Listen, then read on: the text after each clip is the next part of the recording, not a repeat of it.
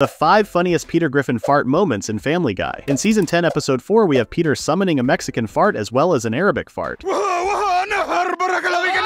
In Season 20, Episode 2, Peter attempts to release a fart stuck in his pants, which ends up blowing on the audience. In Season 1, Episode 1, Peter recalls the first time he had gas at the age of 30. What the hell was that? In Season 18, Episode 12, we have Peter creating fart balloon animals at a birthday party. Don't pop that, you'll throw up. In Season 8, Episode 16, Peter manages to suck up a fart during a meeting. What was that? What was what?